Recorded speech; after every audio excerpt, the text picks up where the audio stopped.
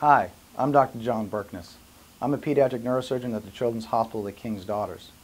I, I, specialize in the care of patients with spinal deformities such as scoliosis. Today I'd like to demonstrate the proper examination of a patient with scoliosis in the hopes of elucidating some of the pitfalls that can lead to false positive exams.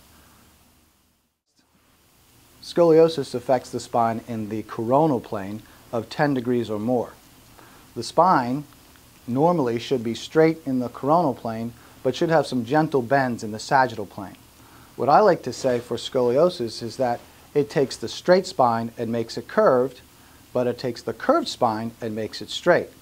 What it also does, however, is affect the axial plane. And what that does is it causes rotation of the spine. So if you can imagine up here in the thoracic part of the spine where the ribs are attached, and there was some rotation of the spine there, that's the fulcrum of this rotation, and the whole rib cage will rotate up. You'll end up with what's called a rib hump. The Adams forward bending test takes advantage of that principle. The first step to examining someone with scoliosis is to simply observe them from behind. The patient turns away from you.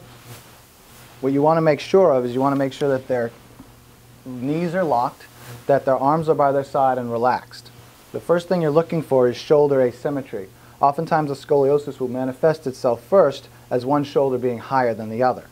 The next you want to look for is any obvious curvature in their spine when you're just directly observing it. That oftentimes can be hidden very, uh, very nicely by kids with a significant scoliosis, so you can't judge it entirely on that. Next you want to look at their pelvis.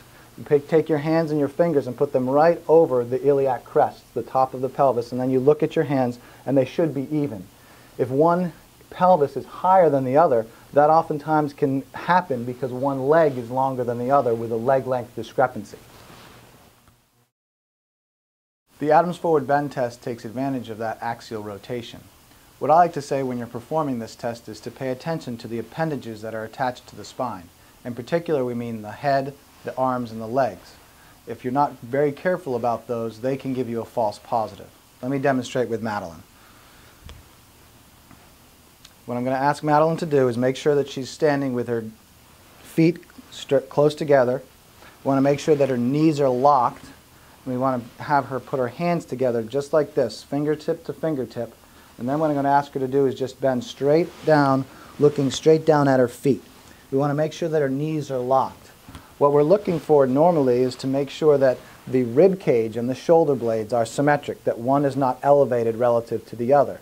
If you do have scoliosis and the rotational plane is affected, one rib cage will be higher than the other.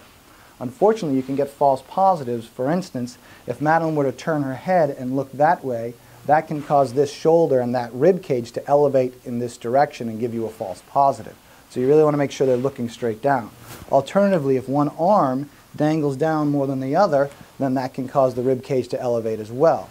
Lastly, if one knee is locked and one knee is not, that'll cause the rib cage to rotate as well and give you a false positive. So before you even do your examination, you want to make sure that all of those three things are in alignment and then be looking at the spine. I hope this video was helpful in elucidating the proper examination of a patient with scoliosis and preventing some of the pitfalls that can occur during that examination. If you have any questions, please feel free to call me at 757-668-7990 or email me at john.birknes at chkd.org.